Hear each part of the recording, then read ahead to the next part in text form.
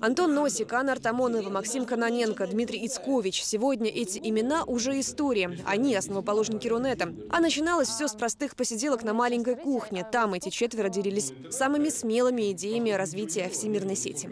Вот человек, у которого в гостях, у которого на кухне все Вот у меня была такая квартира, которая все считали скотом. На таких вот квартирниках буквально опытным путем они изучали новинки заграничного интернета. Идеи рождались разные. То, что тогда казалось едва ли не фантастикой, сегодня вспоминают с улыбкой. Люди стали обнаруживать, что они не одни во Вселенной, что есть другие люди, также сидящие за компьютерами в каких-то дальних точках. Это сначала был шок, потом это привело к появлению каких-то связей.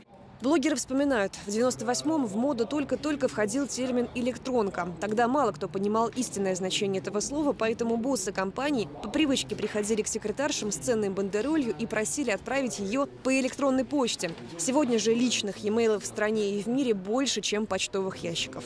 В 2001 году мы а, подали на рекорд в книгу Гиннесса, по-моему, был зарегистрирован у нас миллионный ящик, Ящик. ящик даже, не человек. И это казалось тогда огромной цифрой. Вот у нас до сих пор у нас где-то в офисе висела эта бумажка, что миллионный ящик. В нулевых сеть росла в бешеном темпе, как и скорость передачи данных. В далеком 90-м о таком не могли даже мечтать. Тогда сам выход в глобальную паутину был роскошью.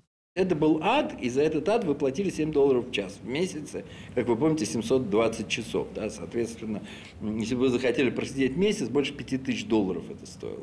Все дозванивались по модемам, да, вечно занятые телефоны, вечно занятый домашний телефон. Там бессонные ночи, потому что по ночам был безлимитный тариф, и, значит, естественно, если уж ты наконец-то дозвонился, то уже надо так посидеть, так посидеть. История Рунета отсчитывают от 7 апреля 1994 года, когда несколько провайдеров объединились и подали коллективную заявку на регистрацию домена .ру. Но это был только первый шаг. По-настоящему глобальная паутина охватила Россию позже. Большой интернет в том смысле, который мы его э, привыкли понимать, э, появился в США э, в начале 2000-х.